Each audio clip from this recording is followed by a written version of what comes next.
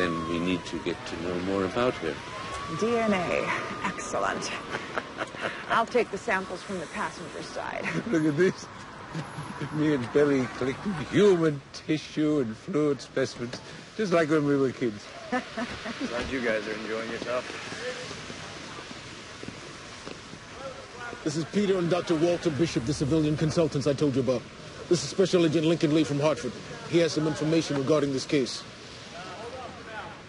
Hi. Uh, Uh, this is... Agent Olivia Dunham.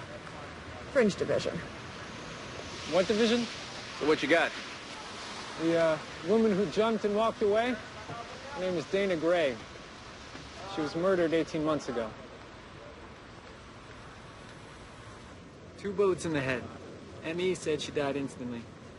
She was killed with her husband and her children in a home invasion robbery. Oof. That's grisly. I can't argue. This was a tough one. You ever find who did it? Yes, we uh, tried to bring him in, but he drew on us. Two agents ended up putting him down in a shootout, so case closed. That is, until I get a call about Mrs. Gray's body disappearing from the morgue.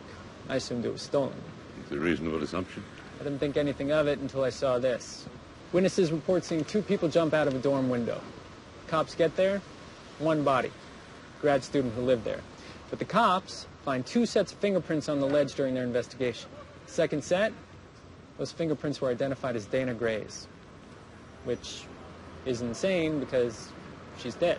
Well, you know, stranger things have happened. Um, no, they haven't. Don't listen to him. Her. Sorry. Go on. Not knowing what to make of it, I flagged Gray in the system. Over the next two months, we found prints at three other double suicides. Now, security photos show her there, and eyewitnesses report seeing her die. First responders show up. There's only one body, and it's never hers. I know this sounds insane, but I don't think this woman can die. Isn't this our lucky day?